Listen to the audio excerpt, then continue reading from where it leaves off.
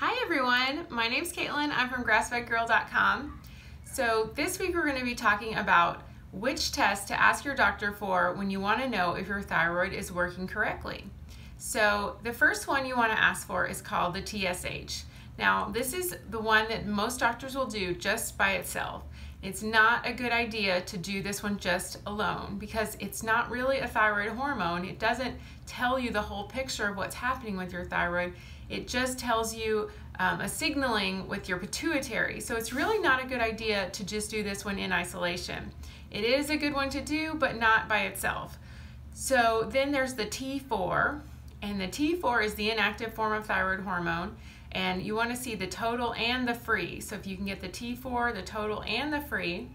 Also, you want the T3. Now that's the more active form of thyroid hormone, so that's the total and the free as well for the T3. And that's the one that your body is converting in its liver, so you really need that one to be working, to be high and working well. So the next one is the thyrobinding globulin. That is the um, that is one of the antibodies. So you have two antibodies that you want them to check. Is the TPO, the thyroid peroxidase antibodies, and the thyrobinding globulin. So your body, when it starts making antibodies to your thyroid hormone, that's not a good thing because it's telling, your body's telling itself that there's something wrong going on, and that's not what you want. Uh, because your thyroid needs all that hormone so it can synthesize it for your metabolism and for sleep and for um, losing weight and all those things that you want to have working, like your energy. So um, the next one is the reverse T3. That is a really important one. Um, you can have some signaling problems with that one, so make sure you get the reverse T3 as well. And then you want the T3 uptake. So those are the ones you want, and I will write them down below.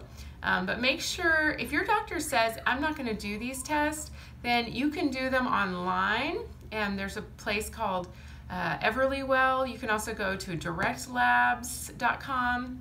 There's a lot of places you can do them on your own now. You don't have to be at the mercy of your doctor. And if your doctor is not willing to give you uh, the benefit of the doubt and give you these thyroid tests, then it might be time to find a new doctor. So keep that in mind as well.